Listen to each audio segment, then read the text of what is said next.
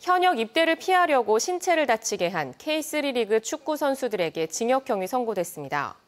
춘천지법 강릉지원은 오늘 고의로 손목 인대를 다치게 해 사회복무요원 판정을 받은 선수 3명에 대해 병역법 위반 혐의로 징역 1년에 집행유예 2년을 선고하고 사회봉사 120시간을 명령했습니다. 이들은 사급 판정이 취소되고 다시 병역 신체 검사를 받아야 합니다.